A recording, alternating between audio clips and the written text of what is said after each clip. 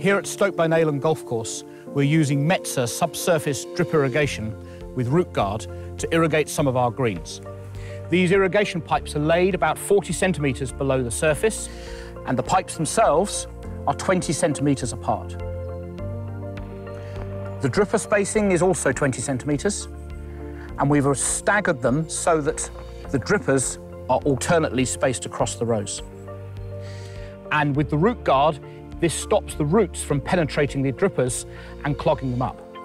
You'll see the very healthy root zone that's going down to meet the wetted area that's coming up from the drip pipe that we have buried 40 centimetres under the surface.